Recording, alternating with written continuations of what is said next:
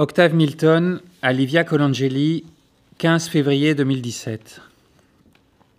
Allons, allons, Livia, reprends-toi. Ça commence. Si tu préfères que je m'éloigne, euh, je m'éloignerai. Peut-être en candidatant à la Villa Médicis. Au moins ce sera l'Italie, ton pays, celui de mes ancêtres présumés, et j'aurai enfin quelque chose à raconter, ou du moins à décrire. Et puis, la limite d'âge étant de 45 ans, c'est maintenant ou jamais. Livia Colangeli à Octave Milton, 15 février 2017. Ottavio, la Villa Medici, sul serio. Je croyais que tu détestais les colonies de vacances. Livia. Octave Milton à Livia Colangeli, 17 février 2017. Colonie de vacances, comme tu y vas. Rassure-toi, je compte bien me tenir à l'écart de ces individus et simplement profiter de Rome. Voici ce que j'ai écrit pour l'instant dans ma lettre de candidature. Quelques lignes euh, et je bloque. Je trouve absurde de devoir préciser le contenu d'un livre qui n'est pas commencé, mais je ne vois pas comment faire autrement. Qu'en penses-tu? Une légende familiale raconte que je descends de l'architecte Francesco Borromini qui se suicida à Rome le 3 août 1667, mettant fin à une vie passée dans l'ombre du Bernin. J'ai l'intention d'écrire l'histoire d'un écrivain en mal d'inspiration qui décide d'enquêter sur son ancêtre Borromini. Ce sujet implique de passer du temps à Rome, à la fois pour m'imprégner de la ville et pour faire d'importantes recherches documentaires, dépouiller des archives. Mon livre prendra la forme d'une correspondance entre ledit écrivain et son éditeur. Livia Colangeli à Octave Milton, 18 février 2017. Caro Ottavio, Racine disait Ma pièce est faite, il ne me reste plus qu'à l'écrire. Si je ne savais pas que tu n'as jamais tenu une promesse, j'applaudirais. Et puis tiens, j'applaudis tout de même, car ce faux projet, moitié autofiction, moitié récit historique, te fera avoir la vilain. Pour meubler un peu, insiste sur l'ancrage italien de ton premier roman, les paysages de l'Émilie-Romagne, les chapelles italiennes, les toits rouges de Modène. Quant à la forme, c'est là où je vois le vrai problème. On risque de se dire encore un roman par lettres. Voici donc ce que je te suggère. Et l'air de ce que tu n'es pas Jeune et moderne? Écris par exemple que ce projet a beau s'inscrire dans la longue tradition du roman épistolaire, il prendra une forme neuve, celle d'une messagerie électronique. Ce livre sera en ligne. Le lecteur n'achètera pas un objet mais un mot de passe. Il se connectera sur son ordinateur avec une messagerie et verra les messages nouveaux apparaître progressivement au fur et à mesure qu'il fermera les messages lus. Une fois sa lecture terminée, il disposera donc d'une messagerie complète dans laquelle il circulera comme bon lui semble, dans l'ordre qu'il choisira.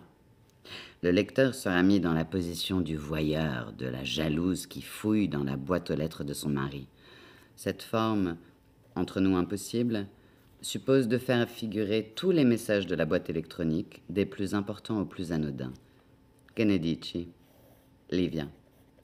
PS, et le plus important, n'oublie pas de dire que tu considérerais le fait de vivre à Rome, où ton roman doit se dérouler, et plus particulièrement dans ce lieu historique qu'est la Villa Medici, comme une chance exceptionnelle. Amen. À Livia Colangeli, 18 février 2017. Grazie, Livia, tu es un vrai puits à. Je l'ai toujours pensé. Je vais y réfléchir. Il me paraît tout de même un peu difficile de défendre un projet qui n'est pas le mien, Octave. Octave Milton à Giovanna Romagnoli, 11 avril 2017. Madame, je vous remercie de votre message. Je suis honoré que mon dossier ait été retenu et je serai là le 27 avril pour l'audition. Bien à vous, Octave Milton. À Livia Colangeli, 27 avril 2017. Livia, si tu voulais me surprendre, euh, c'est réussi. Comment t'es-tu débrouillé? Ton nom ne figurait pourtant pas dans la liste des membres du jury. Comme tu t'étais caché, vilaine, derrière la chevelure rousse de Muriel Mayette, je ne t'ai vu qu'après ma présentation, ou plutôt, je les ai vus. Tes deux yeux noirs comme des gouffres qui me fixaient comme si je leur étais inconnu. Je plains les autres candidats si tu les as regardés avec ces yeux-là. Je ne te demande pas le résultat des délibérations, je connais ta déontologie. Octave. Octave Milton à Véronique Maton, 4 septembre 2017. Ma chère maman, je ne sais pas dans quel ordre commencer ce message, d'autant plus que je suis au-delà de la fatigue. Je t'écris d'une grande maison moderne au milieu du parc de la Villa Médicis, tout près de la sortie qui donne sur le métro Villa Borghese. Quand l'avion a décollé, j'ai senti cet étirement du cœur que tu m'as si bien décrit, l'impression que le cœur est une bouche et qu'elle se met à sourire. C'est exactement ça. Ma maison est située à Sarcelles. Oui, tu as bien lu. À gauche de la villa proprement dite, les jardins bien taillés avec au fond les appartements historiques, c'est Neuilly, parce que c'est chic. Mais si tu vas à droite, tu peux grimper sur le Bosco, une forêt de chênes en hauteur, surplombée par une minuscule colline artificielle qu'on appelle le Parnasse. Tu traverses le Bosco, tu redescends et tu arrives à Sarcelles. Sarcelles, c'est une rangée de pavillons modernes et charmants, construits, je crois, à l'époque où Balthus était directeur. Ces noms, Neuilly, Sarcelles, remontent à 1989, date à laquelle Hervé Guibert, un écrivain mort du sida à 36 ans, a publié un livre qui se déroule ici, L'incognito. La vérité, c'est que les gens se battent pour être à Sarcelles, parce qu'on y est plus tranquille et que les logements sont plus confortables. J'ai tout de même un petit atelier à Neuilly, à 10 minutes de l'appartement. C'est une jolie pièce de plein pied avec le jardin. Ça sent la cave. Euh, j'aime bien. À Livia Colangeli, 5 septembre 2017. Livia, moi qui m'attendais à avoir une chambre ornée de fresques, euh, me voilà bien emmerdé. Je suis à Sarcelles, comme on appelle, tu dois le savoir, toi qui sais tout, la partie la plus pourrie à l'est du domaine. Alors oui, certes, euh, j'ai un atelier à Neuilly, un atelier, mais euh, pourquoi faire? Je ne suis pas un peintre. Que suis-je au fait? Bon. L'atelier est humide sans le renfermer. Tiens, un alexandrin. Il est juste à côté de la grosse déesse Rome. C'est une statue antique qui est restée là parce qu'elle était trop lourde et trop moche, mais l'histoire ne le dit pas, pour être déplacée à Florence au moment où l'Italie a cédé la villa à la France. Tu le savais que toutes les autres statues sont des copies? Le Mercure en bronze au-dessus de la fontaine, c'est la copie d'un original parti pour Florence. Et les deux lions devant le palais, ces lions graves et joueurs, la patte posée sur une boule, des copies en travertin. Et la flèche de granit rose? Copie aussi. Copie, te dis-je. Quant au Niobide, quelle déception On m'avait tant vanté ce groupe antique, les enfants de Niobé tombant sous les flèches d'Apollon et d'Artémis avec des poses et des expressions toutes plus pathétiques et charmantes les unes que les autres. Tout est faux. Ce sont des moulages faits par un pensionnaire d'après les originaux conservés aux offices sur commande de Balthus. Bref, je m'apprête à passer un an à Hollywood. Baci Delusi, Octave. Livia Colangeli à Octave Milton, 6 septembre 2017. Pardonnez-moi, mon cher, mais vous extravaguez. Entre dans la chambre aux oiseaux. Regarde les murs, les plafonds. Des hérons babillent avec les perdrix. Un hibou dort, le singe et le hérisson se querellent, et la vigne s'enroule autour de la queue de l'écureuil. Et ose encore me dire que tu es à Hollywood. Hollywood, bois sacré.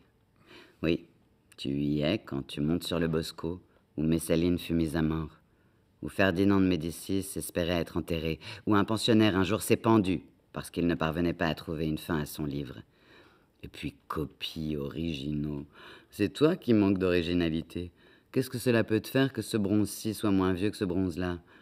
Ce mercure qui s'élance au-dessus de la fontaine, ce chef-d'œuvre de la sculpture maniériste, ce Dieu qui ne repose que sur un souffle d'air. Trouves-tu qu'il en ait moins de grâce? Que la patte des lions soit moins majestueuse? Si c'est le cas, je plains ton manque d'imagination. Livia. À Livia Colangeli, 8 septembre 2017. Livia, j'ai envie de rentrer. Je me sens mal à l'aise dans cet univers et me demande si tout compte fait, je ne suis pas trop vieux. C'est la première fois que mon âge me pose un problème. Encore heureux que presque personne euh, n'ait d'enfants. L'an dernier, il y avait 17 enfants à la villa. Tu te rends compte? 17 Un 13 par pensionnaire. La cour de récréation. Bachi, Octave. Livia Colangeli à Octave Milton, 8 septembre 2017. Raconte-moi tout ce que tu veux, tout ce que tu peux, caro Ottavio, mais abstiens-toi, per favore, de me parler d'enfants et d'âge avancé. 9 septembre 2017. Ah, mais toi, Livia, tu auras toujours 21 ans, comme au jour de notre rencontre. Quant aux enfants, je croyais cette affaire close. Franchement, ça aurait été une folie. Regarde-toi. Tu n'étais pas faite pour la maternité. Venant de ma part, tu sais que c'est un compliment. À Livia Colangeli, 18 octobre 2017. Livia, je sors d'un déjeuner de bienvenue au palais Farnese. L'ambassadeur ressemble à un cadavre élégant. Ses yeux font des trous dans sa peau. Muriel Mayette l'appelle Jacob pour montrer qu'ils sont amis. Xavier, le designer mélanchoniste, était venu habillé en clodo pour montrer qu'il ne mangeait pas de ce pain-là, avec un gros sac à dos de randonnée, une chemise à carreaux chiffonnée, des cheveux gras et des baskets boueuses. J'ai dit Xavier s'est habillé pour l'occasion. Il m'a regardé méchamment. J'ai pas compris ta blague. Nous étions dans la galerie des Caracs autour d'une grande table rectangulaire et nous avons dû nous présenter un par un. J'ai allumé discrètement le dictaphone de mon portable pour tout enregistrer. Nous avons par exemple entendu un pensionnaire, dont je ne sais pas écrire le nom, nous dire qu'il était un artiste polyvalent intervenant aussi bien dans le magasinat et le conseil artistique que la mode ou la photographie. Mais j'ai encore mieux aimé Bertrand Mognon, l'un des deux compositeurs, qui a présenté son projet en ces termes exacts. La nécessité de mes recherches émane d'une problématique simple. Comment faire émerger une complexité musicale qui ne soit pas un bariolage de signes à donner la migraine à plus d'un, mais bien plutôt résultant de l'émergence d'une surface musicale irréductible, témoignant du rapport fructueux de la confrontation initiale, celle de l'hétérogène? Irina, l'autre écrivain, a dit en toute simplicité C'est moi qui ai trouvé le moyen d'opérer le lifting du cœur coincé entre deux failles, l'écran du temps et l'espace du clavier. L'ambassadeur et Muriel Mayette hochaient la tête. Le plat principal était une caille au foie gras. Irina a repoussé son assiette d'un mouvement de main en prononçant La caille me dégoûte et le foie gras me révolte. Bertrand en a fait de même et Xavier a suivi le mouvement. Aloysius Mimol, l'autre compositeur, a murmuré Quels idéologues insupportables À ma gauche, Percé brandissait la tête de la méduse. Devant moi, une jeune femme caressait une licorne sur fond de paysage nivernais, et en haut, mille et un dieux tout nus faisaient des acrobaties. Je me demandais pourquoi il fallait toujours payer tant de beauté par tant d'ennui. Après le repas, Daniel, mon voisin restaurateur, nous a fait le commentaire des fresques qui se trouvent dans le bureau de l'ambassadeur. C'était passionnant, et j'ai rien retenu. Puis Raphaël, l'historienne de l'art, une petite personne nerveuse, est venu vers moi et nous avons fait le trajet du retour ensemble, en nous séparant progressivement des autres. Je l'ai accompagnée jusqu'à la Piazza del Popolo où elle avait rendez-vous. Dans la basilique Santa Maria del Popolo, Raphaël m'a expliqué que Caravage était un peintre machiste, violent et au fond extrêmement conventionnel et que d'ailleurs sa peinture n'avait pas de grain. Regarde-moi ça, a-t-elle ajouté en jetant sa main vers la conversion de Saint Paul. Une Italienne qui avait surpris notre conversation nous a fait remarquer que le tableau était remplacé par une affiche de la même taille. Et Raphaël a répondu froidement Le fait qu'on ne puisse même pas distinguer un tableau de Caravage d'une affiche prouve bien que sa peinture n'a pas de grain. Bacci, Octave. Olivia Colangeli, 26 février 2018. Il a neigé sur la villa. D'ailleurs, on dirait que la neige tombe toujours à gros flocons, mais c'est le vent qui pousse celle qui s'est déposée cette nuit sur les pins parasols. Il y a du soleil, ça va fondre petit à petit. Ce matin, nous nous sommes tous retrouvés dans le jardin devant la loggia, tous sauf Xavier. J'ai demandé où il était. Il déteste la neige et il faisait la gueule ce matin, m'a répondu Irina. Il trouve ça glauque, euh, ça le déprime. Daniel a dit On va voir les niobides Amélie Biberon a répondu Les nio quoi? Quand on est arrivé dans le carré des niobides, Bertrand, l'un des deux compositeurs, a dit à Nathalie C'est ça, les niobèses Et Raphaël a dit d'un air docte, en caressant son ventre Elle est enceinte, personne ne sait de qui, personne ne lui a posé la question. Oui, c'est ça. Ils sont tués par Vénus parce que. Et elle a inventé une espèce de mythe stupide à base de pommes, puis s'est tournée vers Daniel d'un air quand même un peu dubitatif, et Daniel a corrigé. J'étais atterré devant leur inculture, ou plutôt non. L'inculture ne me dérange pas, mais le manque de curiosité, si. Ils vivent ici, voient ce groupe de statues extraordinaires et ne se sont jamais demandé ce que c'était. Ottavio. Livia Colangeli à Octave Milton, 28 février 2018. Ottavio, ces gens ne savent pas ce que sont les niobides, mais eux au moins travaillent. Ils peignent, ils composent, ils réfléchissent. Toi, qu'as-tu fait depuis le mois de septembre? Tu t'es plaint, tu as médit, tu as écrit une minuscule nouvelle. Olivia Colangeli, 26 février 2018. J'avais oublié que ma Olivia pouvait être aussi méchante. Je n'ai aucune inspiration. Je suis allé l'autre jour à la galerie à Panfili et me suis retrouvé littéralement paralysé. Paralysé devant tant de beauté. Est-ce que ce n'est pas ça qu'on appelle le syndrome de Stendhal Octave? Livia Colangeli à Octave Milton, 28 février 2018. Dai, Ottavio. Le syndrome de Stendhal, sul serio. Quand tu auras écrit La chartreuse de Parme et Le rouge et le noir, on en reparlera Le syndrome de Swann, si tu veux. Le syndrome de tous ceux qui ont un peu de talent, mais beaucoup trop de paresse pour en faire quoi que ce soit. Mais épargne-moi le syndrome de Stendhal, per favore. Livia. Mais écoute, Livia, que veux-tu que je fasse? Et pourquoi pas simplement tenir ta promesse? Le projet pour lequel tu as été pris à la Villa Médicis n'était-il pas d'écrire une vie de Borromini Alors pourquoi ne profites-tu pas de ton séjour à Rome pour écrire une vie de ton prétendu ancêtre? 7 mars 2018. Je suis allé visiter la galerie Borghese avec Daniel ce matin. J'ai regardé Daphné et j'ai vu une jeune femme. J'ai regardé Daphné et j'ai vu un laurier. J'ai regardé Daphné et j'ai vu la terreur, la poésie. Je l'ai regardé et j'ai vu tout ce que je ne pourrais jamais faire. Octave. 15 mars 2018. Livia, ce projet d'écriture me pourrit mon séjour ici. Mon cœur se serre chaque fois que je vois le nom du Bernin, c'est-à-dire 20 fois par jour. Les grimaces des statues de la fontaine des quatre fleuves, c'est à moi qu'elles s'adressent.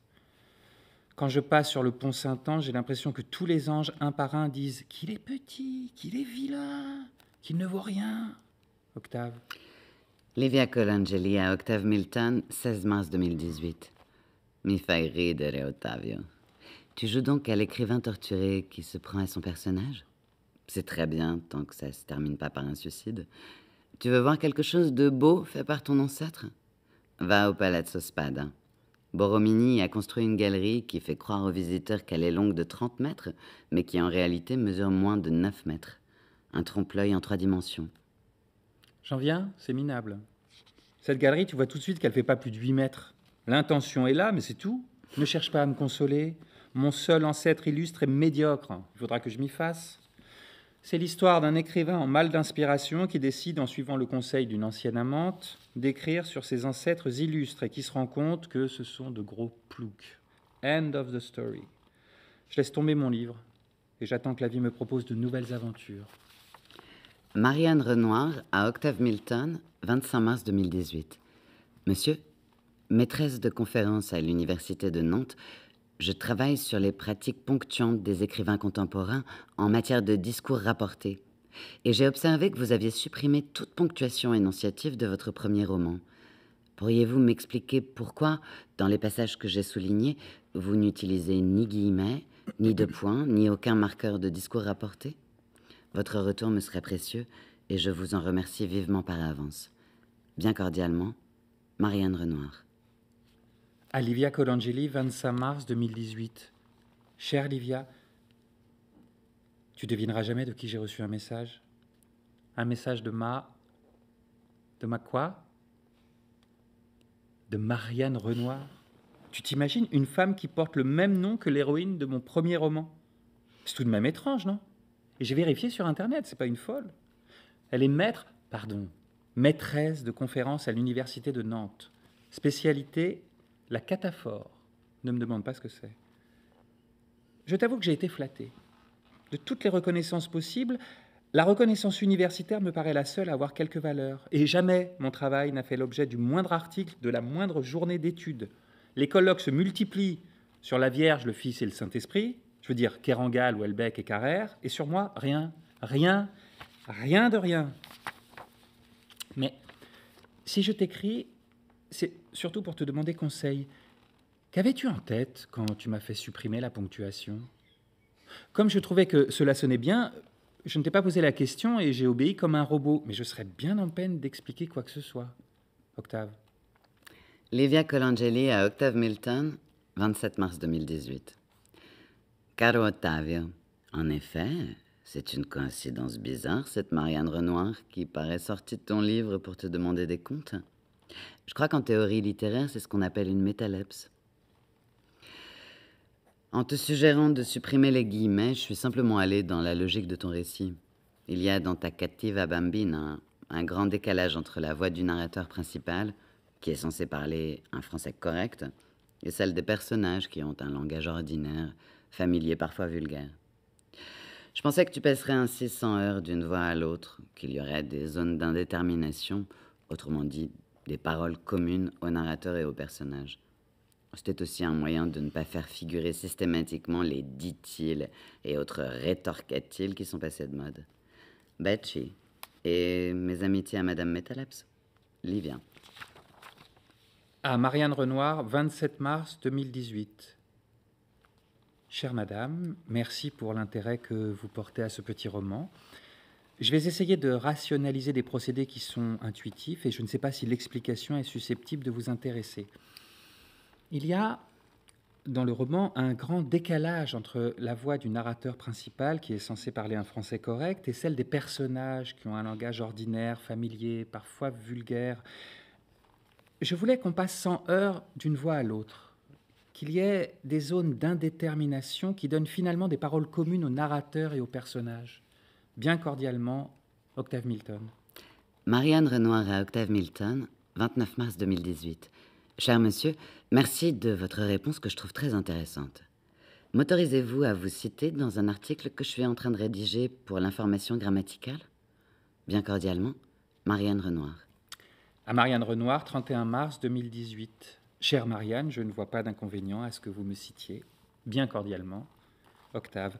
PS, je vous avouerai que j'ai été surpris de voir s'afficher votre nom dans ma messagerie électronique comme si l'héroïne de mon premier roman était sortie de la fiction pour me rendre des comptes.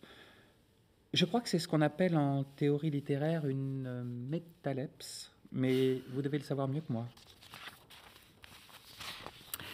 Cher Octave Milton, parfaitement. Je suis une métalepse. J'ai franchi la frontière sacrée qui sépare la fiction de la réalité pour vous reprocher tous les crimes que vous avez commis et que vous commettrez. Je vous enverrai mon article quand je l'aurai terminé. Bien cordialement, Marianne Renoir. À Octave Milton, 10 avril 2018. Cher Octave Milton, je vous envoie pour information et sans obligation de lecture mon article sur le discours rapporté. Ce n'est qu'un brouillon, je n'ai pas encore fait figurer ni les notes de bas de page, ni la bibliographie. Comme vous le verrez, ou ne le verrez pas si vous ne le lisez pas, j'ai finalement décidé de renoncer aux exemples tirés de vos livres et de rester concentré sur l'Ancien Régime, qui après tout est mon domaine. Bien cordialement, Marianne Renoir. Frontière du dialogue, le brouillage des voix dans la prose classique. Alice, assise dans l'herbe à côté de sa sœur et soupirant. À quoi peut bien servir un livre sans image ni dialogue Est assurément une lectrice de texte moderne. Si elle met sur le même plan image et dialogue, c'est sans doute en partie parce que le dialogue, par sa disposition matérielle, se détache de la page, à l'instar de l'illustration. Rien de tel sous l'Ancien Régime. Peu de paragraphes, peu de respiration, le dialogue se fond dans la page sans signe distinctif. En effet, le discours rapporté... Chère Marianne Renoir, je vous avouerai que j'ai pas lu en entier votre article, mais le survol que j'en ai fait m'en a donné une impression tout à fait favorable. Quant à mon absence, ne vous inquiétez pas. Je sais depuis longtemps que la majeure partie de la littérature contemporaine ne vaut rien aux yeux des, aux yeux des universitaires, et je m'en accommode assez bien, cordialement, Octave Milton. Marianne Renoir à Octave Milton, 12 avril 2018. Cher Octave Milton, je suis sincèrement désolée de vous avoir froissé. J'ai l'habitude de redéfinir mon corpus en cours d'écriture, mais j'oubliais que les vivants sont plus susceptibles que les morts. C'est plutôt de ma propre légitimité qu'il est question. Après avoir pensé que j'aurais l'audace de faire une plongée dans la littérature contemporaine, je me suis ravisée et je suis retournée m'allonger sur le sable qui m'est familier. Bien frileusement, Marianne Renoir. À Marianne Renoir, 12 avril 2018. Chère Marianne Renoir, me confondez-vous avec une serviette de table pour penser que je me froisse si facilement? Avez-vous, comme linguiste, étudié le second degré ou l'ironie? Apparemment pas. Marianne Renoir à Octave Milton, 14 avril 2018. Cher Octave Milton, l'ironie est un mécanisme énonciatif qui repose sur la connivence. Et c'est toujours un procédé délicat lorsqu'il s'agit de personnes qui ne se connaissent pas. Marianne. À Marianne Renoir, 24 avril 2018. Chère Marianne Renoir, tout va-t-il bien pour vous à Nantes? Figurez-vous que j'ai croisé ce matin votre sosie dans les rues de Rome. Votre sosie tenait par la main une jolie petite fille qui était d'ailleurs comme le sosie noisette du sosie roux, Octave Milton. Marianne Renoir à Octave Milton, 26 avril 2018. Cher Octave Milton, ce n'était pas mon sosie, c'était moi. J'ai été invitée à un colloque sur les lettres portugaises à l'université Roma 3 et j'ai dû y emmener la plus jeune de mes deux filles, Louise, qui n'est plus hélas une petite fille, mais bien une adolescente de 14 ans. Je me suis rendu compte récemment qu'une ligne aérienne reliait Rome et Nantes. C'est pratique. J'espère que tout se passe bien dans votre palais nous partons en voiture pour Tarquinia avec une collègue qui veut absolument nous montrer les tombes étrusques. Après quoi, retour à Nantes. Bien cordialement, Marianne Renoir. À Marianne Renoir, 28 avril 2018. Êtes-vous bien rentrée? Comment se portaient les petits chevaux de Tarquinia? Marianne Renoir à Octave Milton, 28 avril 2018. Les petits chevaux se trouvent dans une tombe désormais fermée au public. Je ne peux donc pas vous donner de nouvelles de leur santé. Mais si j'en juge par les autres animaux que j'ai vus là-bas, ils vont mal. Les tombes étrusques ressemblent à des cabines de toilette qu'on aurait enfoncées une à une dans la colline. On descend par un étroit escalier en métal, on attend que parents et enfants aient fini d'écraser leur nez gras à la vitre. On s'écarte en se collant au mur pour les laisser remonter. On prend sa place devant la vitre sale. On rallume la lumière qui vient de s'éteindre. On regarde la fresque. On dit Ah, des dauphins. Et regarde là, des biches. Bah non, c'est pas des biches, elles ont des taches. Ou alors ça existe, les biches à pois? Bah oui, regarde Bambi, il a des taches, Bambi. Certes, mais sa mère n'en a pas. C'est comme les taches sur les ongles. Ça part à l'adolescence. Ils disent quoi sur l'affiche? Sur l'affiche, ils disent juste animaux se battant. Mais enfin, ils se battent pas, ils se, lèchent, les fesses. Bon, on remonte? Je suis bien rentrée, mais fatiguée, car je me suis réveillée au milieu de la nuit en pensant à votre dernière chronique pour les Inrocks. J'ai acheté le magazine à l'aéroport. De fait, je ne comprends pas le mépris que vous y manifestez envers les universitaires. Le texte que vous attaquez me semble assez fin et intelligent. Aujourd'hui, ça ne me paraît pas si important, mais cette nuit, c'était une affaire d'État. Amitié, Marianne. À Marianne Renoir, 30 avril 2018. Que vous n'aimiez pas ma chronique ne m'étonne pas. Vous êtes une vraie petite rationnelle dans l'argumentation. Et je ne le suis pas, je fonctionne autrement. C'est sans doute ce qui fait de moi un très modeste écrivain. J'ai pas trouvé le texte des universitaires très intelligent, en revanche cuistre et sachant, comme le sont presque toujours les universitaires, qui ont coutume d'être les pointilleux grammairiens de leur matière. Marianne Renoir à Octave Milton, 2 mai 2018.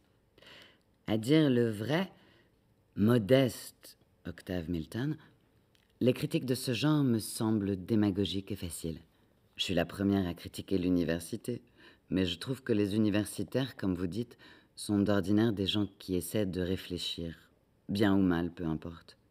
Quant à votre expression de pointilleux grammairien de leur matière, eh bien, étant moi-même au sens propre une pointilleuse grammairienne, autant qu'une vraie petite rationnelle, je ne peux que me dissocier de vous en vous lisant. Quand on écrit des chroniques sur ce genre de sujet, je trouve pas mal d'être un peu plus au point dans l'argumentation et de ne pas juste laisser parler ses sentiments au pif. Voilà. Au fond, je m'en fiche. Maintenant, vous êtes énervé je suis énervé, je vais quitter la bibliothèque triste comme la mort au fond d'un bois. Olivia Colangeli, 4 mai 2018. Marianne Renoir m'a adressé de cinglants reproches sur ma dernière chronique, celle qui t'avait fait tant rire. Je l'ai interrogée sur les raisons de son amertume. Elle m'a répondu par le vers et la mère et la mère ont l'amour en partage. Qu'en penses-tu? Livia Colangeli à Octave Milton, 4 mai 2018. Je pense que pour une fois, tu n'as pas besoin de savoir ce que j'en pense pour savoir qu'en penser. 4 mai 2018, toi aussi, tu as visiblement perdu ton humour. Évidemment que Madame Metaleps ne m'a rien écrit de la sorte. Elle est bien trop sérieuse pour être amoureuse. Livia Colangeli à Octave Milton, 4 mai 2018. Tu inventes donc les réponses que tu aurais voulu qu'elle te fît. Ah, Octave. Tu es plus avancé sur le chemin de l'amour que je ne le pensais 4 mai 2018, ne te moque pas. Tu sais bien qu'après avoir renoncé à t'aimer, je ne pourrais aimer personne. À Marianne Renoir, 4 mai 2018. Chère Marianne, une idée un peu folle m'est venue. Vous qui me donnez si volontiers des conseils, voulez-vous être ma marraine? Je vous explique. La villa me harcèle depuis le début de l'année pour que je me choisisse un parrain. Par contre, cela implique de venir passer quelques jours ici. Tout frais payé, bien sûr, mais ne vous inquiétez pas. Je vous laisserai faire vos recherches sans vous importuner. Octave. Marianne Renoir à Octave Milton, 5 mai 2018. Vous, mon filleul, quelle idée Mais elle me surprend et j'aime être surprise, c'est d'accord. Je peux venir dès mercredi car mes cours sont terminés, mais je serai avec Louise, ma fille cadette, que vous avez déjà aperçue. Ce sont les vacances de Pâques. Marianne. Livia Colangeli à Octave Milton, 8 mai 2018. Comment ça, tu as invité Marianne Renoir à venir à Rome? Et elle est devenue ta marraine? Et je l'apprends par Twitter? Livia. À Livia Colangeli, 8 mai 2018. Oui, parfaitement. J'ai une marraine. J'attendais qu'elle soit arrivée pour te l'apprendre, mais Twitter m'a devancé. J'espère que tu vas pas être jalouse. J'ai préféré devenir le filleul de la bonne fée Marianne Renoir plutôt que de la vilaine fée Livia Colangeli. Octave. Livia Colangeli à Octave Milton, 8 mai 2018. Tu sais, mon cher Octave, ce que font les vilaines fées qui ne sont pas invitées à la fête? Elles se vengent. Livia. Livia Colangeli, 9 mai 2018. Heureusement, je n'ai pas d'enfant que tu puisses maudire. Et quant à moi, maudit, je le suis déjà. 11 mai 2018. Livia, ce matin, je suis allé avec mon ami Daniel et mes deux invités sur le Quirinal voir le Casino del Aurora, qui était ouvert exceptionnellement. Louise est souvent silencieuse. Elle a comme une nostalgie dans le regard. Elle a 14 ans, mais pourrait tout aussi bien en avoir 10. On dirait qu'elle s'apprête à quitter le monde de l'enfance et qu'elle le quitte à regret. Elle a toujours sur elle un cahier rouge qu'elle sort parfois au milieu de la rue, sans aucune affectation. Je me demande à quoi peut ressembler le journal d'une adolescente. À Livia Colangeli, 12 mai 2018. La jeune Louise m'intrigue de plus en plus. T'ai-je dit qu'elle écrivait un journal? Ce soir, en rentrant de la pizzeria, nous sommes passés devant le grand salon. Il était ouvert. Et dans la pénombre, nous avons regardé les tapisseries du XVIIIe siècle. Sur l'une d'elles, ma préférée, un crocodile dévore un agneau, un jaguar se jette sur le dos d'un brave tapir et des oiseaux exotiques déchirent le ventre d'un hibou effrayé. Il a fallu le regard de Marianne Renoir pour que je les regarde, ces tapisseries que je vois tous les jours. Louise s'était assise au piano et jouait du bout des doigts un morceau de Schubert en remuant les lèvres. Elle portait une robe bleue à rayures blanches, serrée à la taille par une ceinture en cuir. Son cou était dégagé et se penchait à peine vers le piano. Dans ses cheveux noisettes, elle avait un nœud bleu, du même bleu que le bleu de la robe. Je l'ai trouvée si gracieuse qu'une grande tristesse m'a pris en la regardant. Livia Colangeli à Octave Milton, 12 mai 2018. Cette demoiselle est un petit singe savant, en somme, la digne fille de sa mère. Tu te demandes à quoi peut ressembler le journal d'une adolescente? Il existe une façon assez facile de le savoir. Ah non, Livia, tu te trompes, Louise n'a rien de l'assurance tranquille du singe savant. Parfois son visage se crispe en une terrible grimace, et de ses doigts raidis, elle fait un geste vers sa gorge comme pour s'étrangler. Et parce qu'elle paraît souffrir, elle me semble plus vivante que les autres. Quant à lire son journal, tu es folle. J'aurais l'impression de commettre un crime. Marianne Renoir à Octave Milton, 14 mai 2018. Octave, j'ai cru quand l'avion a décollé que ma tristesse s'envolait avec lui. Mais non. Elle s'est accrochée. J'aimerais bien me promener au bord de la Loire nocturne avec vous. Mais je n'en dis pas plus car je craindrais de vous dégoûter autant que les lasagnes de l'autre jour. À Marianne Renoir, 16 mai 2018. Vous ne me dégoûtez jamais. Litote à la chimène. Marianne Renoir à Octave Milton, 16 mai 2018. La mode actuelle chez les styliciens, c'est de dire que non, Chimène ne fait pas de litote. Elle dit je ne te hais pas pour dire qu'elle ne le hait pas, rien d'autre.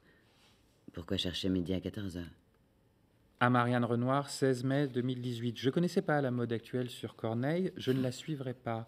Chimène dit à Rodrigue Je ne te hais pas pour dire qu'elle ne le hait pas parce qu'elle l'aime assez pour ne pas vouloir qu'il puisse le croire, et elle le lui dit pour lui rappeler que malgré tout, elle l'aime. À Marianne Renoir, 18 mai 2018. Chère Marianne, je risque d'avoir moins de temps pour vous écrire ces prochains jours car je vais recevoir ici une vieille amie. À vrai dire, euh, c'est mon ancienne compagne. Je préférerais travailler, me promener, profiter de mes dernières semaines romaines, mais c'est ainsi, je lui dois beaucoup, elle va pas bien, et je ne sais pas refuser. Vous, écrivez-moi, Octave. Marianne Renoir à Octave Milton, 19 mai 2018. Cher Octave, vous qui êtes si doué en description, me la décrirez-vous, cette vieille maîtresse, avant qu'elle n'arrive Dormirez-vous à l'atelier comme vous l'avez fait quand j'étais là? Ne serait-ce pas plus simple que vous partagiez un lit pour le confort de vos deux vieux dos? Marianne.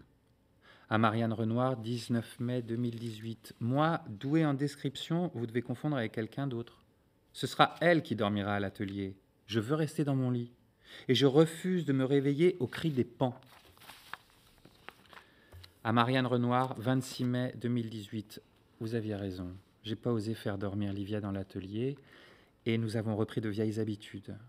Le matin au réveil, elle roule vers moi et étend une jambe, un bras sur mon corps comme une ceinture de sécurité. Je ne m'en sors qu'en prononçant les paroles magiques. Je vais préparer le café. Cela me rappelle les pires heures de notre concubinage. Enfin, elle part tout à l'heure. Que devenez-vous? Octave. À Marianne Renoir, 28 mai 2018. Vous vous taisez? Je m'étais habitué à vos messages quotidiens, moi. Marianne Renoir à Octave Milton, 29 mai 2018. Oui, je me suis tue quelques jours. Tout à l'heure, j'ai voulu faire une sieste et je pensais à vous. Ça a donné une sorte de leçon de mécontentement.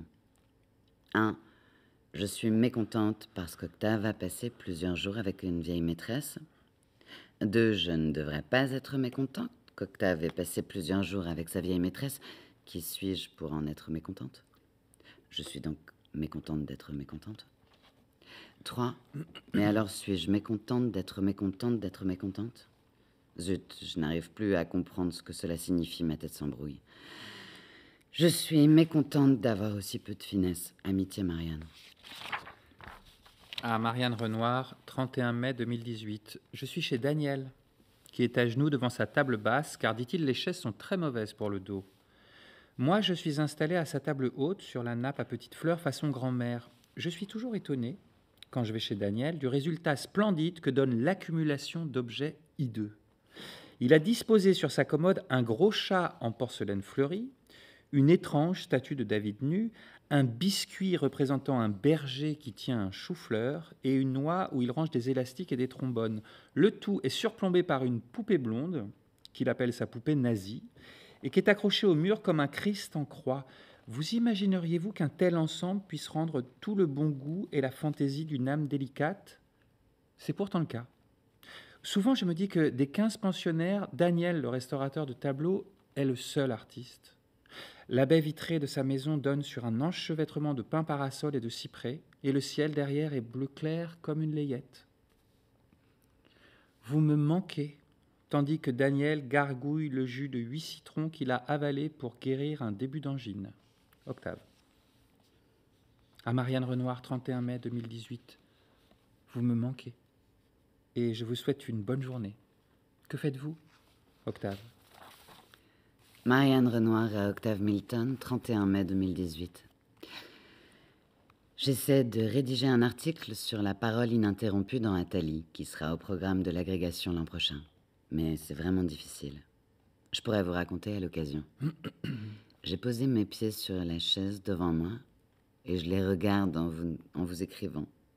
Je repense à la souplesse de vos orteils dans vos sandales et m'attendris devant les miens qui sont courts, peu mobiles et disgracieux. J'ai l'impression d'avoir eu 20 enfants, d'avoir gâté les dix premiers, mes doigts, qui sont longs et minces, et d'avoir enfermé les dix derniers, mes orteils, à la cave, sans soleil. Je ne sais pas pourquoi je vous parle de mes orteils. Marianne. Eh si, vous le savez. À Marianne Renoir, 18 mai 2018. Moi aussi, je pense à vous, Marianne Renoir. Et je me demande si, à force de ne pas nous voir tout en écrivant qu'on ne cesse de penser l'un à l'autre, nous n'entretenons pas ce que Vincent Kaufmann appelait l'équivoque épistolaire dont Flaubert est le maître. Oh, comme tu me manques, viens, viens, mais surtout ne viens pas. Marianne Renoir à Octave Milton, 18 juillet 2018. Je suis entièrement d'accord avec vous et ça me déplaît et me met mal à l'aise et me paraît artificiel. Et encore dans votre exemple, il se tutoie. Mais je ne sais pas comment faire. Pour moi, il y a une espèce d'impasse. Vous me manquez, mais surtout ne nous voyons pas. Marianne. À Marianne Renoir, 18 juillet 2018. Espèce d'impasse. Ce pourrait être le titre de mon prochain livre. Vous dites artificiel, mais je ne vois pas en quoi ce serait artificiel. C'est, voilà tout. En attendant de voir ce que ce sera. Je vais bientôt quitter la villa. Si vous reveniez, quand vous voulez, surprenez-moi. Octave. Marianne Renoir à Octave Milton, 20 juillet 2018. J'arrive à 15h05. Marianne Renoir à Octave Milton, 24 juillet 2018. Bonjour de l'avion qui s'apprête à décoller. Il y a quatre jours, j'arrivais. Tu me manques. Ce tu me fait bizarre, mais le vous encore plus. Tout est bizarre, je suis fatiguée. À Marianne Renoir, 24 juillet 2018. Je me lève à peine, je m'étais rendormi après mon retour de Termini. Ta joie m'avait sans doute épuisé. Le passage au tu n'est pas si facile. Comment dis-tu? C'est n'importe quoi. Oui, c'est n'importe quoi. Mais c'est la vie. La vie bien vivante. Et puis, la joie. Tu es parti, mais tu es là. Je t'embrasse. Stami bene. Octave. Livia Colangeli à Octave Milton, 27 juillet 2018. Ottavio, que se passe-t-il? Tes messages se réduisent comme peau de chagrin, et je remarque que tu ne me parles plus guère de ta métalepse. Serait-ce que vous ne vous parlez plus? Ou au contraire que vous vous parlez trop? Elle. À Livia Colangeli, 1er août 2018. Cara Livia, non, je ne m'intéresse pas à Marianne Renoir. Tu sais très bien que tu es la seule femme qui ait pu vraiment... Non. Sincèrement, la mère ne m'intéresse qu'à cause de la fille. C'est une formidable source d'inspiration. Marianne m'a dit qu'elle avait lu des bouts de journal de sa fille qu'elle tient depuis ses six ans, quelque chose comme ça. Elle m'a décrit cela comme des pensées en mouvement, des méditations à la La Rochefoucauld qui évoluent avec le temps. Je suis curieux, Octave. Marianne Renoir à Octave Milton, 2 août 2018. Bonjour. C'est comme si on s'était pas vu depuis des semaines. Comme si on n'avait jamais été ensemble. Charles m'écrit et me réécrit et me dit que j'ai refusé le dialogue et la possibilité de résoudre les problèmes en parlant. Et je n'aime pas bien être cette personne-là. Il part au Japon avec Jeanne le 14 août pour son travail. Jeanne est ravie. Mais moi, je vais devoir annuler les sessions de linguistique où j'étais censée aller à Evian, car je n'ai pas de solution pour garder Louise. Tout à l'heure, quand j'ai reçu ton texto, que j'ai trouvé un peu sec, j'ai sursauté. Et pendant tout le trajet du retour, j'ai porté mon cœur dans ma gorge. J'ai un tout petit peu pleuré en rentrant. Et ça allait beaucoup mieux ensuite. Je t'embrasse, Marianne. À Marianne Renoir, 6 août 2018. Marianne, je viens d'assister à un drôle de spectacle.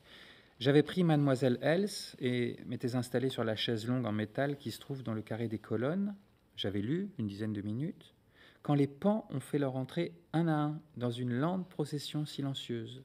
Le plus petit m'a fait penser à Louise, qui n'est plus une enfant, mais qui en a gardé toute la grâce maladroite.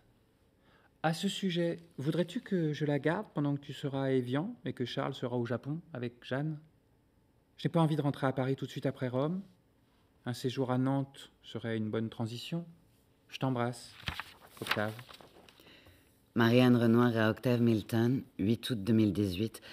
Tu me manques et je dois t'aimer pour surmonter la violence de la rupture avec Charles. Je suis allée chez nous ce matin pour récupérer des affaires. Je suis restée suffoquée par les pleurs et je me suis endormie sur le lit. Je suis très émue de la proposition que tu me fais de garder Louise. C'est un peu comme si... Bref, je dis oui. Mille fois oui, mon cher Octave. Je lui en ai parlé tout à l'heure, elle est restée interdite, mais je pense qu'au fond, ça lui fait plaisir. Je t'embrasse, Marianne. À Livia Colangeli, 12 août 2018. Livia, je vais rentrer de Rome après-demain, car j'ai proposé de garder Louise pendant le colloque de Marianne Renoir. Elle est à une session de linguistique à Évian. Octave. Livia Colangeli à Octave Milton, 12 août 2018. C'est vraiment la chaleur qui a fait fondre ton cerveau? Mais tu es certain que c'est pas l'amour? Octave Milton abrégerait donc son année à Rome pour jouer à la babysitter dans une ville de province À Livia Colangeli, 12 août 2018. Moque-toi. Mais ce n'est pas ce que tu crois. Louise est une adolescente étrange et, comment te dire, je sens que je tiens quelque chose. Oh, si je pouvais trouver un moyen de lire son journal, ce serait parfait. À Livia Colangeli, 17 août 2018. Livia, en fouillant dans la corbeille de Louise, ne me demande pas pourquoi je fouille dans sa poubelle, je ne le sais pas moi-même.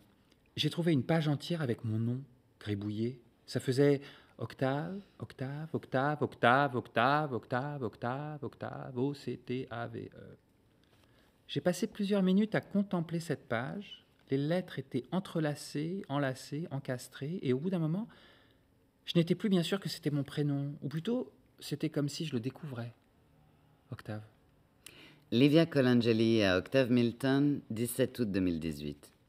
Ottavio, tu sais à qui tu me fais penser? Au mystérieux héros du théoréma de Pasolini. Il entre dans une maison et avec ses yeux bleus séduit la mère, la fille, le père, le frère et le Saint-Esprit. Ce pouvoir que tu as sur les gens, jeunes et vieux, mâles et femelles, m'étonnera toujours. Car tu n'as pas les yeux bleus, Livia. À Livia Colangeli, 17 août 2018. Sérieusement, Livia, crois-tu que j'ai pu plaire à une fille de 14 ans? N'oublie pas que j'en ai 45. Ah, Octave, es-tu naïf ou fais-tu semblant de l'être Dis-moi, si tu étais une petite fille, où cacherais-tu ton journal? Ottavio, on voit décidément que tu n'as jamais été une petite fille. Sotto il mio materasso, naturalmente. 18 août 2018. Livia, tu es forte. Il y avait un gros cahier sous son matelas. Elle dort chez sa copine Myriam. J'ai passé la nuit à le recopier et je l'ai bien remis comme il était. En voici des extraits, dans l'ordre chronologique. La première remarque est datée d'avril 2011. Elle avait alors 7 ans, et cela va jusqu'à ses 11 ans. Elle en a 14. Il faut donc que je trouve le reste. Octave.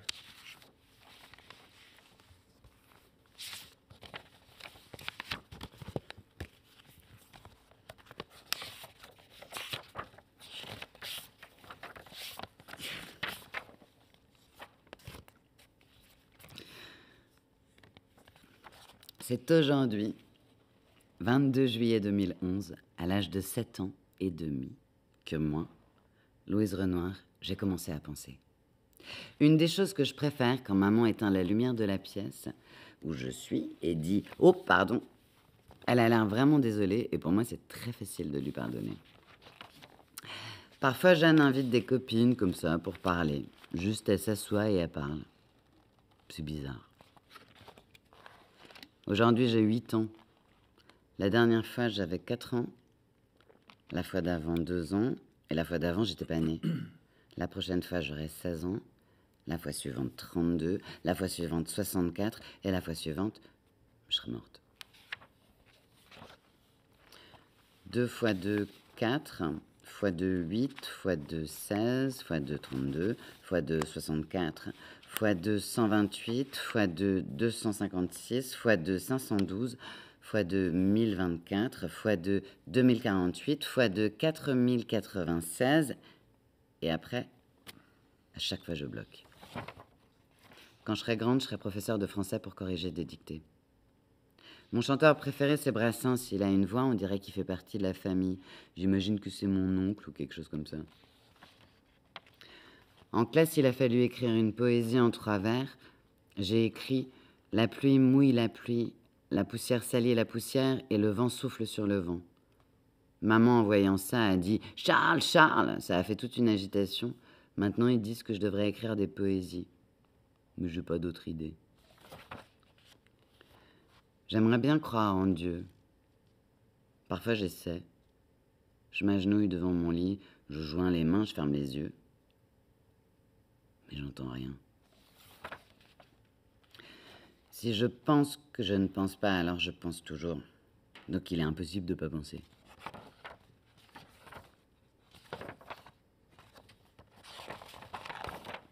Rémi de Castello a un sac à dos violet sur lequel est écrit Je pense donc je suis. Il y met ses affaires de dessin, alors il est tout taché. J'aimerais avoir le même, je le tâcherai pas. Mais maman m'a dit qu'elle savait pas où le trouver. Puis j'aurais l'air de copier. Papa m'a dit que je pense donc je suis, la phrase sur le sac de Rémi de Castello, était en fait une phrase d'un écrivain qui s'est mis à douter de l'existence des choses. Il a douté tout, et à un moment, alors qu'il avait le vertige, tellement il savait plus rien, il s'est dit Au moins je pense. Et donc il a prouvé sa propre existence juste en pensant à sa pensée. J'aimerais tellement avoir ce sac. Avant ma naissance, j'étais à moitié dans papa et à moitié dans maman. J'ai cassé le vase de maman, celui que papa lui avait offert pour leur 10 ans de mariage. J'ai peur de l'avoir fait exprès. Il m'a semblé que je le faisais exprès. Il était là, bien posé sur la cheminée. Il n'avait aucune raison de tomber. J'ai 10 ans. J'aimerais respirer normalement, mais j'y arrive pas. Le jour où des poils recouvriront le grain de beauté que j'ai là, je serai devenue une grande, une grande personne. J'aimerais que ce jour ne vienne jamais.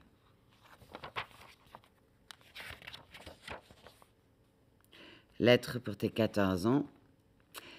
Chère Louise, es-tu amoureuse? J'espère que tu es toujours gentille avec les animaux et que tu n'es pas devenue une fille qui se maquille. Ne porte pas de soutien-gorge, ne m'oublie pas. Louise. Livia Colangeli à Octave Milton, 18 août 2018. Je veux la suite. Moi aussi, mais comment faire? Au lieu de perdre ton temps à m'écrire, tu devrais fouiller méthodiquement la chambre de Louise et trouver les cahiers restants. À Livia Colangeli, 19 août 2018. Livia? Voilà. Il y en avait un dans On a marché sur la Lune et l'autre dans les cahiers d'Esther. Tu vas voir, il y est question de ton serviteur, Octave. Il est arrivé quelque chose de grave tout à l'heure quand je rentrais de mon cours d'allemand. Papa et maman regardaient la télé. Il y a des islamistes qui sont entrés dans un journal et qui ont tué tous ceux qui y travaillaient avec des mitraillettes russes. J'ai trouvé ça horrible, mais Jeanne pleurait et ça m'a paru être encore une de ces comédies. Jeanne dit mais à tout bout de champ. Il est mais hideux. Je me suis mais éclaté. Ça me gêne parce que je ne comprends pas où est l'opposition. J'ai terminé ce soir Madame Bovary. Je me suis mise toute nue pendant que je le lisais. J'étais au lit et j'ai eu l'impression que c'était quelque chose de mal. Je ne trouve pas que Flaubert écrive trop bien. Je n'ai d'ailleurs jamais compris ce que c'était qu'écrire bien, pas bien. Il y a des histoires qui me plaisent, d'autres non. Qu'est-ce que c'est qu'on appelle le style? Je ne crois pas que ça existe. J'ai l'impression que si je pouvais décrire précisément les deux grosses mains de l'angoisse qui compriment ma gorge entre leurs paumes et appuient la pulpe de leurs doigts et me donnent, je ne sais comment, envie de mourir, alors peut-être elles desserreraient leur étau, peut-être enfin je respirerais. Hier soir, j'ai trouvé ma culotte violette, comme si on y avait étalé de la confiture de mûre. J'ai eu honte. Je suis allé tout de suite me laver et dans le bain, j'ai vu qu'un nuage rouge sortait de moi. J'ai dû le dire à maman. Elle m'a dit que c'était ça, les règles. Je ne m'attendais pas à quelque chose d'aussi net. Un jour, tu les as jamais eues. Le lendemain, c'est comme si tu les avais toujours eues. T'es une femme maintenant. Maman m'a dit que le mot angoisse vient d'un mot latin qui signifie étroit. Je le savais. Je veux dire, je ne savais pas pour le latin, mais c'était comme si je le savais au fond de moi. J'ai terminé aujourd'hui la Chartreuse de Parme. Elle regardait avec étonnement ce jeune héros dont les yeux semblaient respirer encore tout le feu de l'action. Pour lui, il était un peu interdit de la beauté si singulière de cette jeune fille de 12 ans, et ses regards la faisaient rougir. Moi, j'ai 13 ans, je suis vieille, et personne ne parlerait de ma beauté singulière. J'ai commencé à écrire une tragédie en alexandrin. Elle s'intitule Popée. Ça parle de la femme de Néron qui était aussi cruelle que belle. Tous les jours, elle faisait traire 500 ânesses pour se baigner dans leur lait. Pour l'instant, j'ai écrit deux scènes, mais j'ai le plan entier en tête. Maman m'a dit que Louis Racine disait que son père disait Ma tragédie est faite, il ne me reste plus qu'à l'écrire. Moi, j'ai l'impression que c'est un peu pareil. Et puis, quand je me mets en mode alexandrin, ça coule tout naturellement. Je ne me suis jamais suicidé, même en pensée. Maman a dit que la poésie française ne pouvait pas être aussi belle que l'anglaise ni que l'allemande car les mots n'ont pas d'accent. Ça m'a rendu triste. C'est comme si c'était perdu d'avance. Je me souviens d'une époque où je disais si un jour je m'aperçois que je ne suis pas la personne la plus intelligente du monde, je me suiciderai. Je m'en suis aperçu et pourtant je ne me suicide pas. C'est bizarre comme on change. Quand je suis couché, trop fatigué pour me lever et trop agité pour dormir, je laisse mon fantôme se lever et faire à ma place les choses que j'ai à faire. Je crois que j'aimerais devenir grammairienne. Par exemple, j'aimerais comprendre pourquoi on raconte ses rêves à l'imparfait. Maman m'a donné une explication, mais elle s'est embrouillée. J'ai 14 ans et je me souviens de la lettre que je m'étais écrite quand j'en avais 7 ou 8. Chère Louise, es-tu amoureuse? J'espère que tu aimes toujours les animaux, que tu ne te maquilles pas et ne portes pas de soutien-gorge. Ne m'oublie pas. J'ai même pas envie de me répondre. Toutes les nuits, je descends les escaliers en m'appuyant sur la rampe. Je ne pose pas mes pieds par terre. Je peux descendre quatre étages comme ça. C'est une sensation très agréable. Elle me manque pendant la journée. Avec maman, on a rencontré un écrivain qui s'appelle Octave. Octave Milton. C'est un vrai écrivain qui publie des livres et qui a beaucoup de succès. Une dernière chose que je n'ai pas dite, papa et maman sont séparés, mais c'est provisoire. Depuis que j'ai embrassé Paul, je n'arrive plus à faire des câlins à maman. J'ai oublié comment je faisais. Par exemple, je ne sais plus si je lui faisais des bisous dans le cou ou juste sur les joues. J'ai fait quelque chose de mal, mais j'arrive pas à le regretter. Maman avait laissé son ordinateur ouvert et j'ai lu tous ses messages. Elle a quitté papa parce qu'elle est amoureuse d'Octave. Je la déteste. Octave écrit tellement bien. On voit tout de suite que c'est un écrivain. Maman, par contre, s'embrouille souvent, surtout quand elle fait des leçons. À un moment, il lui dit La passion n'est pas chez toi ce qu'elle est chez les femmes ordinaires. Il me semble pourtant que maman n'est pas très passionnée. Moi, je le serais beaucoup plus qu'elle si quelqu'un m'aimait autant qu'Octave aime maman. Octave va s'installer à la maison pendant que maman sera à Évian. Je ne veux pas. Je ne veux pas. Je ne veux pas. Je ne veux pas. Livia Colangeli à Octave Milton, 19 août 2018. J'étais sceptique, mais j'ai changé d'avis. Il faut le publier. Ottavio, c'est formidable. Olivia Colangeli, 19 août 2018. Mais tu plaisantes Ce n'est pas de moi, je n'ai rien fait. Ottavio, sul serio. Cet enfant ne sait pas ce qu'elle fait. C'est l'acte d'en faire un livre qui est le geste de l'écrivain. Marcel Duchamp a-t-il fabriqué son bidet de ses mains? Olivia Colangeli, 19 août 2018. Mais celui qui a fabriqué le bidet ne se voulait pas écrivain.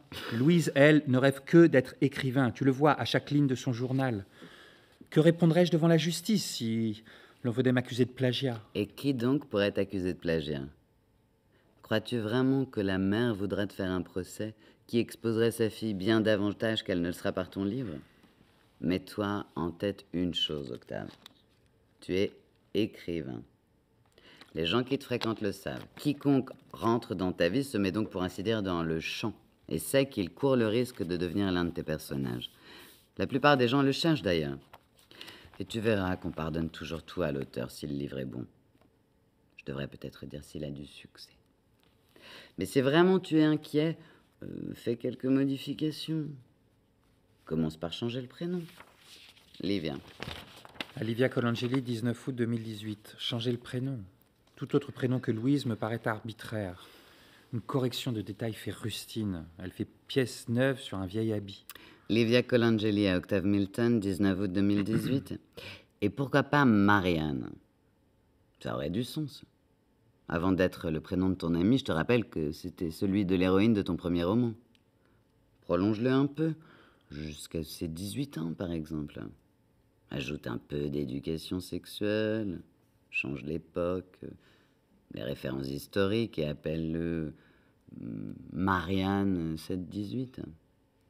Olivia Colangeli, 23 août 2018. Livia, je me suis rendu à tes arguments. C'est fait. Je n'ai rien inventé, mais après tout, on n'invente jamais rien. Disons plutôt que ce texte, euh, je l'ai digéré et fait mien. J'ai tout de même imaginé que Louise s'appelait Marianne. J'ai prolongé le journal jusqu'à ses 18 ans et surtout, comme je l'ai fait naître en 1987, j'ai dû faire euh, quelques transpositions. C'était facile. hein. François Hollande est devenu François Mitterrand. Les attentats du 7 janvier ont été remplacés par ceux du 11 septembre, euh, et ainsi de suite. Le réel m'est apparu étrangement cyclique. J'ai écrit cette préface. Contrairement à ce qu'indique la couverture de ce livre, je n'en suis pas l'auteur. Il y a quelque temps, à un dîner où je m'ennuyais, j'ai entendu M mentionner en riant un étrange journal qu'elle avait tenu enfant et plus tard adolescente. Pour une raison qui me demeure obscure, elle a accepté de me le montrer. Elle en semblait étrangement détachée. J'ai transcrit dans l'ordre chronologique les parties qui me semblaient les plus intéressantes. J'ai corrigé les rares fautes d'orthographe, modifié les prénoms et la présentation des dialogues. C'est tout. Puis-je le publier? lui ai-je demandé. Faites-en ce que vous voulez, m'a répondu M. Cette petite fille est morte. Livia Colangeli à Octave Milton, 26 août 2018. Perfetto. Marianne 718 est désormais ton œuvre.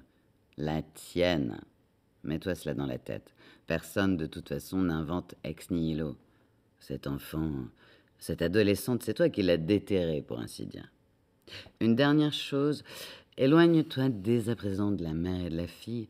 De toute façon, tu n'en tireras rien de plus. Livia. Olivia Colangeli, 6 mars 2019.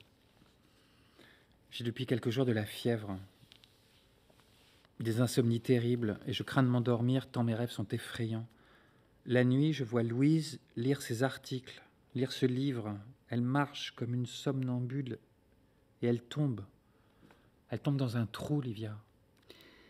Livia Colangeli à Octave Milton, 6 mars 2019. Octave, la seule petite fille narcissique dans l'affaire, c'est toi. Cesse de lire ces articles et passe à autre chose. Ce qui est fait est fait. Tu as choisi de publier ce texte, personne t'y a forcé. Livia. Octave Milton à Livia Colangeli, 15 avril 2019. Louise est morte. Adieu, Livia. Mon Dieu, oui, j'ai vu ça, c'est terrible. Tu l'as appris par Twitter, toi aussi? Je suppose que c'est un suicide, mais c'est pas précisé. En sais-tu davantage? Le cas échéant ne va pas culpabiliser, je t'en prie, tu n'y es pour rien. On ne se tue pas pour un livre et quelque article malveillant. D'ailleurs, chaque ligne de son journal montre qu'elle était fragile. Rappelle-toi ce qu'elle disait sur le caillou qu'elle avait dans le cœur. Voyons-nous, Octave. Livia Colangeli à Octave Milton, 16 avril 2019. Tu ne me réponds pas? Appelle-moi. Livia Colangeli à Marianne Renoir, 27 avril 2019. Madame, j'ai appris la perte que vous avez faite. Je ne suis ni mère ni écrivain. Deux raisons pour ne pas essayer de trouver des mots qui seraient de toute façon bien en deçà de la réalité. Pour ma part, j'ai perdu mon seul ami. J'en viens sans détour à la question que je veux vous poser. Que penseriez-vous de publier votre correspondance? Avec Octave Milton Voyez-le comme une vengeance, ou comme un hommage, ou simplement comme un acte. Ne me répondez pas maintenant, prenez le temps d'y réfléchir. Bien à vous, Livia Colangeli.